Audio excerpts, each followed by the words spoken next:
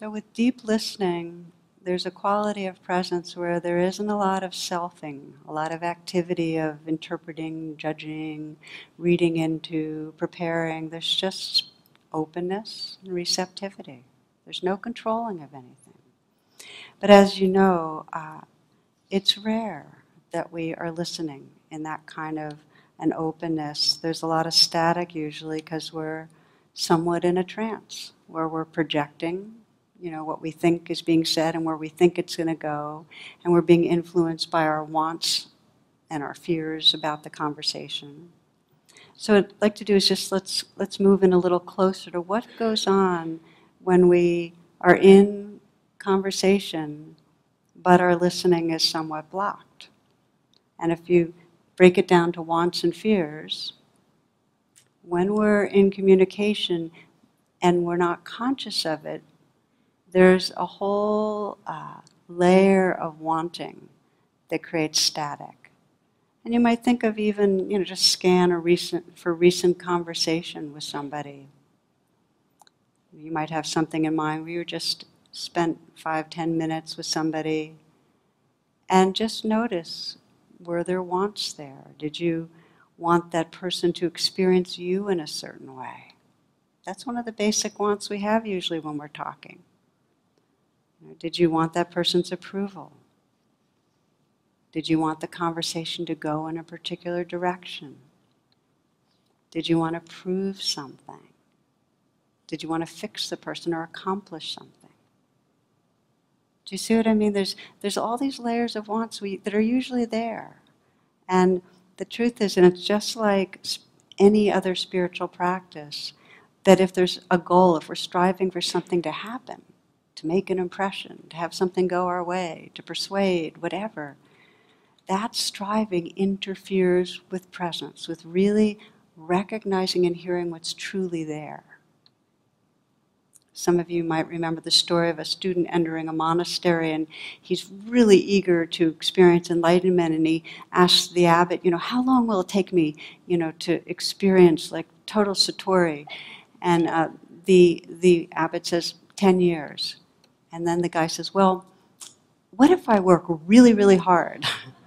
And the, the abbot says, 20 years. Hey, wait a minute, you just said 10 years. For you, 30 years. but you get the idea that if we're in a conversation and we're trying to make something happen, uh, that gets between us and listening with an awake heart.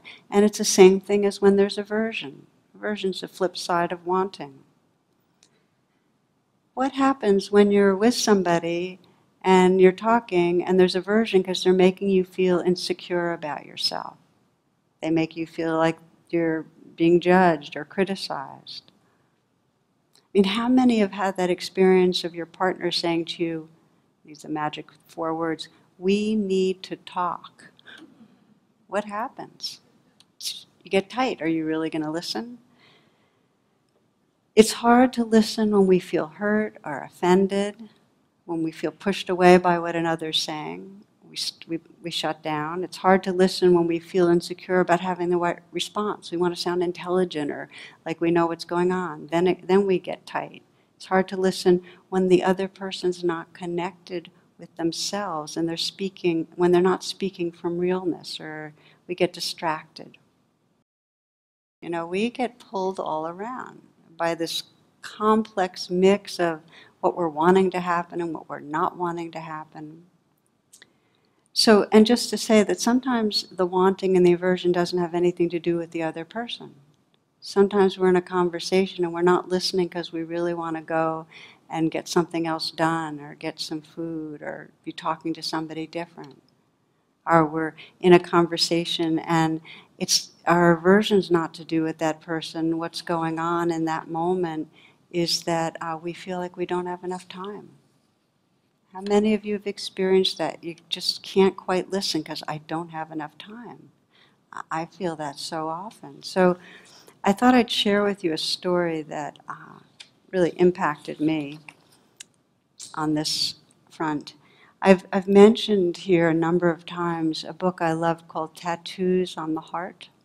This is Gregory Boyle. So Gregory Boyle's a Jesuit priest who works with gangs in Los Angeles, the, the most the most violent parts of Los Angeles. And uh, he'd create work programs for them and a whole lot, a sense of community, a very a huge amount of healing he's been responsible for. So he describes one morning that he's completed Mass, and the next thing he has is a, a baptism to do. So he's got a little time between the two. So he goes into his office. He's got like about 10 minutes. And a few minutes in, a woman walks into the, the room, and her name's Carmen and she's a heroin addict, a gang member, occasional prostitute. She, he says she's often seen defiantly storming down the street, usually shouting at someone. So she seats herself and, and jumps right in. And he's got seven minutes, and so this is what he describes. I need help. She launches right in brash and something of a no shit sister. Oh, she says, I've been to like 50 rehabs. I'm known all over, nationwide. She smiles. Her eyes wander around my office and she studies all the photographs hanging there. She multitasks, and her inspection of the place doesn't derail her stream of consciousness rambling. The family will arrive for the baptism in a few minutes. I went to Catholic church all my life, she says. Fact, I graduated from high school even. Fact, right after graduation is when I started to use heroin. Carmen enters some kind of trance at this point and her speech slows to deliberate and halting. And I have been trying to stop since the moment I began. Then I watch as Carmen tilts her head back until it meets the wall. She stares at the ceiling, and in an instant her eyes become these two ponds, water rising to meet their edges, swollen banks spilling over. Then, for the first time, really, she looks at me and straightens. I am a disgrace. Suddenly her shame meets mine, for when Carmen walked through the door, I had mistaken her for an interruption.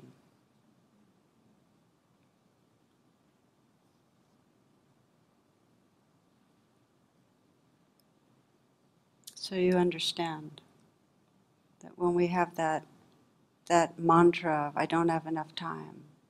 What happens to anything that comes up? It becomes an object out there that's in our way.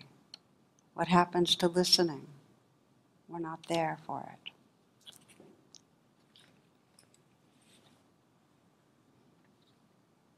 I want to name one more most basic level of fear that interferes with listening and I alluded to it, and that's the fear of not being here.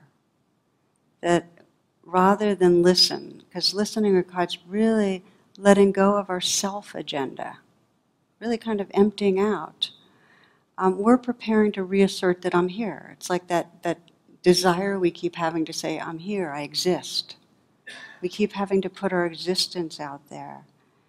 And uh, listening's the opposite. It's almost like saying, okay, let it go, make space for whatever is coming through. So we're preparing, we're uncomfortable, and we don't know who we are when we're not planning our response. There's a strong tendency to want to assert a self who knows somebody. This is, this is the fundamental self sense, holding on to itself. This is why listening is so profound. That when we really begin this practice, it goes right to the heart of a, liber- of a path of liberation. It's no different than when we're just sitting and practicing and listening to what's going on inside us. It requires putting down our evaluations of what we're experiencing, our judgments, our interpretations, which means we're putting down our self sense and just letting life be as it is. Liberating and challenging. So, the key to this uh, very sacred art of listening is to not control or direct what's going on. Not to pursue our wants, not to avoid our fears, to recognize what's going on inside us, but to stay. And we're not trying to control another person. Here's my, pretty much my favorite description. This is Mark Nepo. To listen is to lean in softly with a willingness to be changed by what we hear. To listen is to lean in softly with a willingness to be changed by what we hear.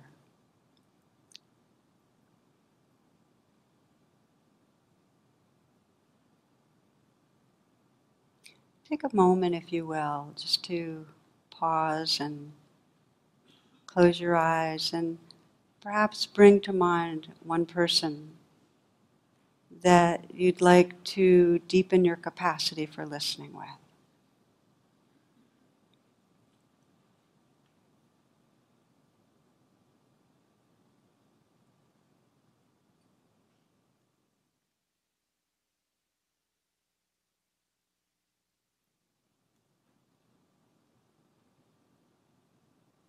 You might bring to mind a recent occasion of conversing and without judging yourself, just to notice. If you were asking the question, well, what's between me and listening with an awake heart? What might have been stopping you? Was there an agenda where you wanted something? Maybe approval or cooperation or their understanding? Was there aversion in some way? Some fear of judgment? A feeling of not enough time?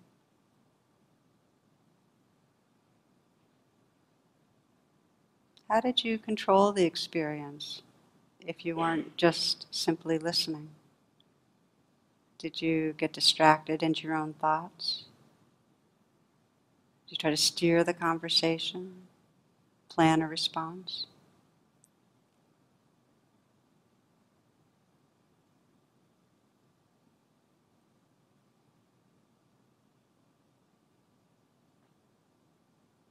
Imagine for a moment if you were redoing. What would your intention be? How would you sense your own intention around listening? Just using your own words. What do you wish?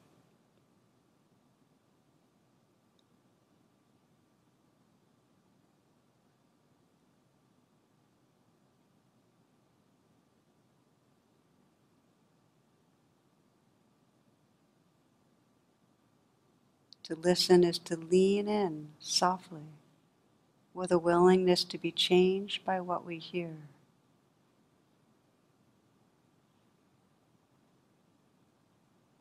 The willingness to discover, to understand more deeply.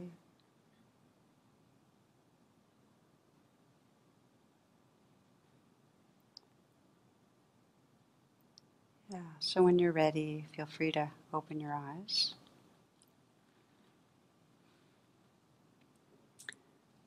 So, the gift of this path of really deliberately deepening our capacity for listening is that we spend more moments we're resting in our true nature, in a full awareness that's, that's not centralized around self, that's open, sensitive, engaged.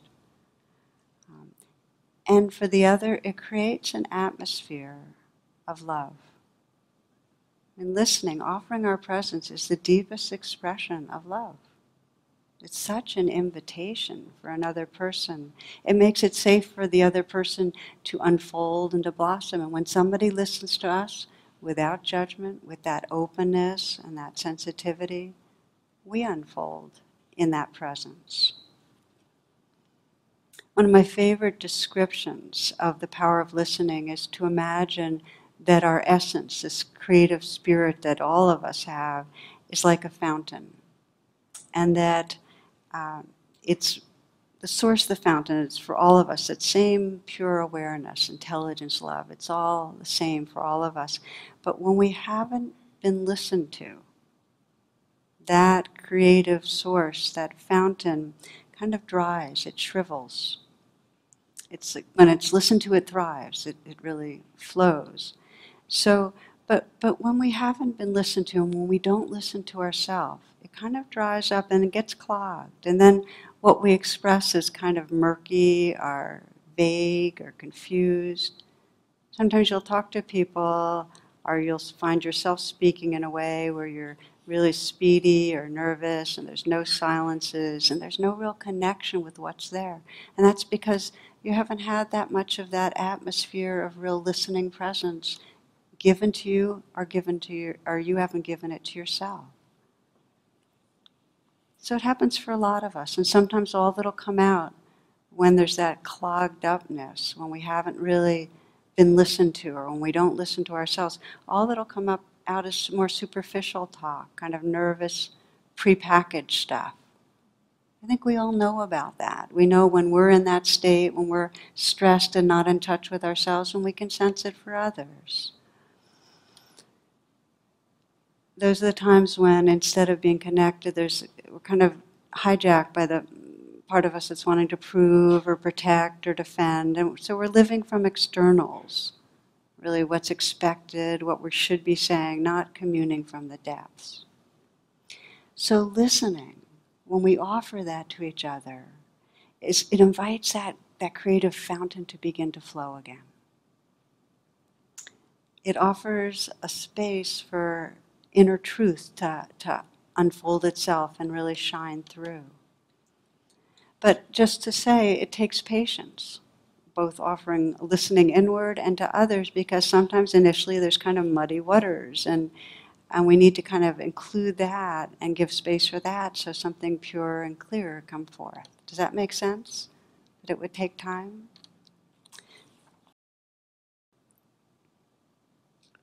It's an amazing gift that we can offer even just a little bit, even with somebody that we don't know or are not going to spend much time with, just offering that space, something begins to happen. This is Thich Nhat Hanh. He says, Deep listening is the kind of listening that can help relieve the suffering of another person. You can call it compassionate listening. You listen with only one purpose to help him or her to empty his heart even if he says things that are full of wrong perceptions, full of bitterness, you're still capable of continuing to listen with compassion. You just listen with compassion and help him to suffer less. One hour like that can bring transformation and healing.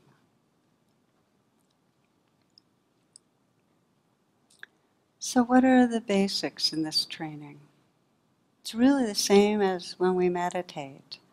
Uh, we set our intention, okay, when I go back home and I'm with my partner or with my teenage son or with my father or whatever it is, um, I plan to listen, to really see if I can let go of all the interrupting static and just be there. And then it's very helpful to have an anchor, to have something to keep coming back to your physical sensations in your body, or um, your breath, something just to say, I'm here, I'm here. And a commitment to being willing to notice whatever the resistances are. So as you're listening, you notice you're judging, or as you're listening, you're noticing unpleasantness and not wanting to be there. So part of you just names it and forgives it. It's okay. You have to be open to recognizing what's going on inside you, or you can't truly be listening to another. And then I find the self coaching is it's a really brilliant approach if there's sometimes a, just a few words that you remind yourself of. Like sometimes I'll just say, There's plenty of time, even if I don't believe it. really, just saying it because some deep part of me knows it's true. You know, my neurotic, egoic self that wants to always get more done doesn't believe it, but there's a deeper place that knows that if I can really pause, that there's some timeless presence there, that that's where everything that I cherish is possible. When I'm really pausing, when the ideas of a future and a past just start dissolving.